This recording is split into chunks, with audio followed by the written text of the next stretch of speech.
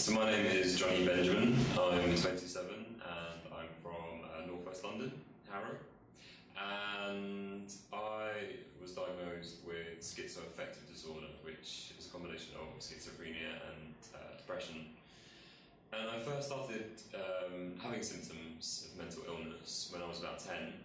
Uh, I started hearing a voice in my head, and I also started to believe that uh, I was being watched by cameras uh, everywhere that I went. Um, back, I really wish I would have got some sort of education, um, something either at school or even at university. Not once was I given any sort of um, indicator of what was available to me if I had a mental health issue. When I was 20, I uh, had uh, psychosis and I, um, I thought that I was being completely um, controlled by the devil and down it and, and screaming and shouting and just um, uh, yeah seriously unwell um, and I eventually collapsed uh, carried by that point I, I knew that I needed uh, quite intensive uh, help and probably hospitalisation I was to this psychiatric unit and um, I was diagnosed with schizoaffective disorder and um, absolutely terrifying and um, I could not come to terms with it at first. Uh, and first week in hospital was spent on um, on suicide watch, so there was someone with you at all times.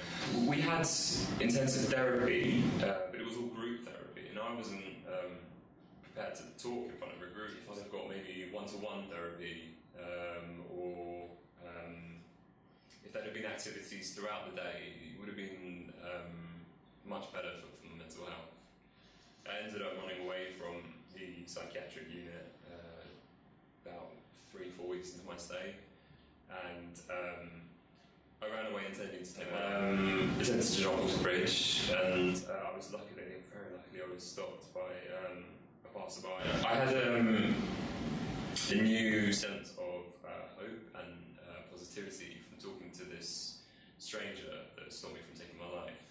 He was saying things to me like, you know, you can get better, you can get through this, you can overcome any adversity. I eventually um, private one-to-one therapy, um, CBT.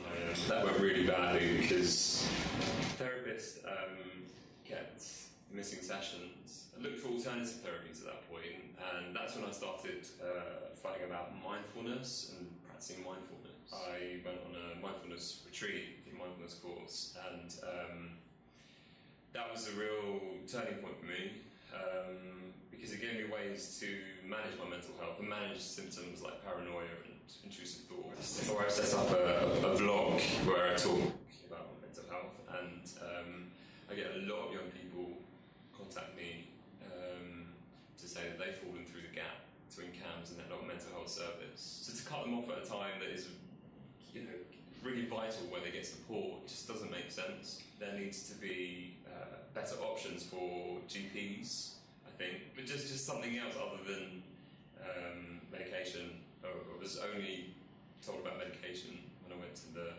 GP.